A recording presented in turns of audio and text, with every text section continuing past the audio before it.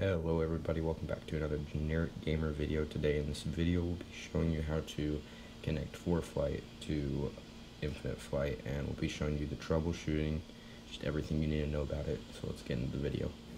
Okay, so our first step is to go to Infinite Flight, go to Settings, General, then click on the Enable ForeFlight link.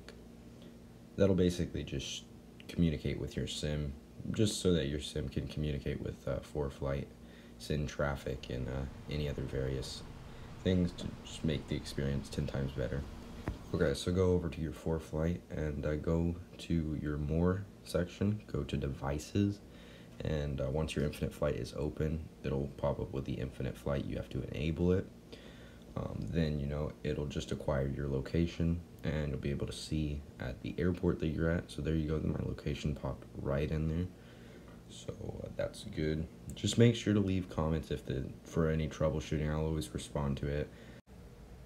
Okay so another advantage to uh, ForeFlight connect is that you can see other infinite flight traffic. That's uh, why you have to connect it. It just basically talks to like your location and uh, other traffic in the area. So you'll go to the top left corner that the maps and you'll press traffic. It might give you an agreement page, you'll just say I agree. It's nothing big. Um, yeah, just say I agree, and then you can see that there's traffic on the runway there, uh, and then on the top right you can see them in infinite flight.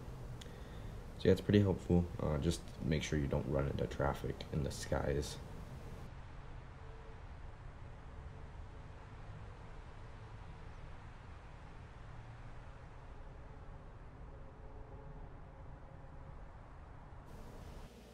Okay, so here we are lined up on, or aligning on 2-5 right at LAX. Uh, so you can see that on ForeFlight that it will follow through the turn and uh, take off here. So I'll just be quiet and show you, and you can listen to the audio too as well.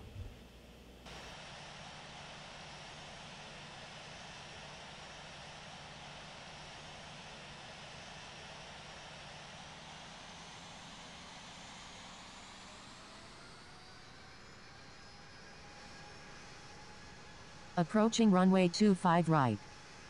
Entered runway 25 right, 12,800 feet remaining.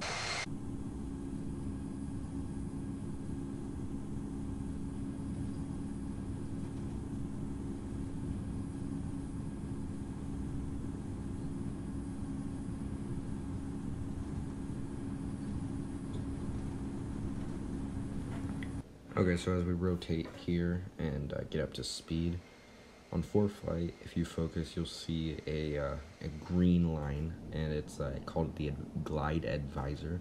It's just showing if our engine was out, how far we can glide, roughly. And then you'll also see a green trail behind the aircraft. Once we get up in the air, it'll show uh, a trail of where we've gone. It's called the uh, breadcrumbs on ForeFlight. I'll include how to turn that on in the settings in a later video, so stay tuned for that.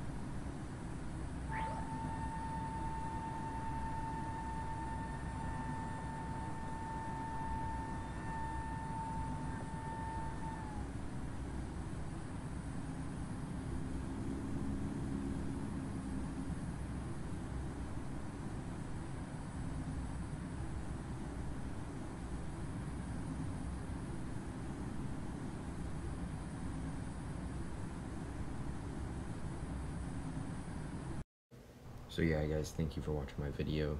We'll have another video up next week. See ya. Peace.